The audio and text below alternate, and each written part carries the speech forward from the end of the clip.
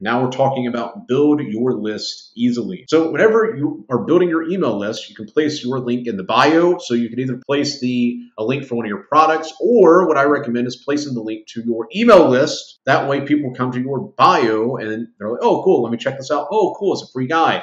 And then you bring them into your world. So they go through the guide, they start reading the emails, blah, blah, blah, blah, blah. And you can also just post it as a follow up tweet to any of your regular tweets, any of your threads. But here it goes link in bio, tweet, or thread. So your bio is one good place individual tweets. So if you have a tweet that does very well, underneath that, you can reply with a tweet that builds off that tweet that sends them to your newsletter. And then at the end of a thread also works very well. You can use tinyurl.com. You can use a straight up link like I did here. It's completely up to you. You can use your own private URL. Don't overthink it. Just take a link and put it there. It's that simple. And like I said, make this simple. Stop trying to overcomplicate it. Stop trying to use the most fancy software, the most convincing, manipulating, copywriting techniques and just put good content out there, provide value, help people, and people are going to follow you, buy from you, and join your newsletter. Here's how to collect emails. One, you can use a landing page. Like example, I use ConvertKit. They've got a landing page builder. You can use Gumroad. Gumroad is another good thing to like build your email list with, and you can email them through Gumroad. You can use Aweber. You can use Mailchimp, which I don't like.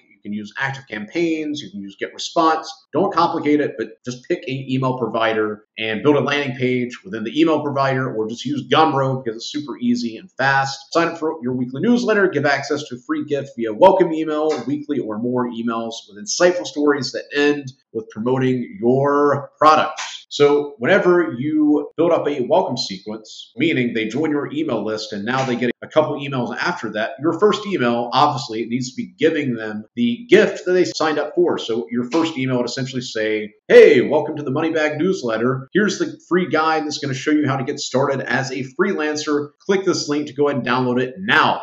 Really that simple. And then you can have some other emails after that that further build that rapport between you and the reader, maybe providing them with more insightful information or upselling them to a product or service and then you need to be emailing your list every single week. You don't need to be doing it every day, but you could be doing it like three times a week is more than adequate. It's really that easy, but we're not going to get too deeply into email copywriting. If you'd like to know more about that, click link down below because I put another YouTube video out for you that specifically shows you how to grow and monetize your email list. Here is the whole process. Have it in your bio, you can set it up on another landing page up on Gumroad, and then your newsletter comes with value-driven emails promoting your offers. This could be your product, it could be your service, it could be an affiliate product. It's completely up to you what you promote, but you need to be promoting in your email list. Otherwise, people are going to get bored and not find value in you. So you need to promote stuff that way they know that you're an actual authority. But caveat is you also need to be making sure you're adding value.